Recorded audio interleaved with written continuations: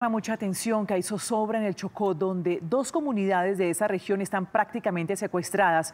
Una amenaza del ELN nos tiene confinados en sus casas. Azucena Lévano, ¿qué es lo que está pasando? Ana Milena, se trata de una situación delicada que se presenta en Juntas de Tamaná y en el Tambito y que la Iglesia Católica en esa región advirtió este pasado fin de semana.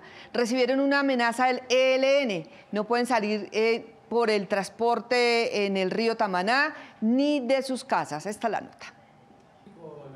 Como en otras oportunidades, el obispo de Ismina Tadó hizo el llamado, o mejor, una súplica, esta vez al ELN para que permita un corredor humanitario y poder ayudar a las comunidades del Chocó que están encerradas por orden de ese grupo, al margen de la ley. Se trata de familias enteras confinadas en los municipios de Juntas de Tamaná y el Tambito en el Chocó, que ya llevan 11 días secuestradas en sus propias casas.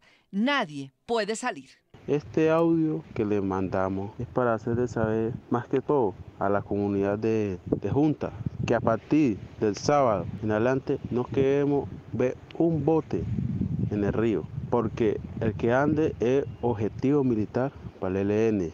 Y es que esta orden amenazante dada por el ELN tiene sitiados a 76 familias en Junta de Tamaná y a 180 personas en el Tambito. Permítanos llegar allí a través de la Alcaldía Municipal de Novita, del Consejo Comunitario Mayor y de la Pastoral Social de la Diócesis para atender las necesidades inmediatas en alimentos, en medicinas, en vestido a estas comunidades.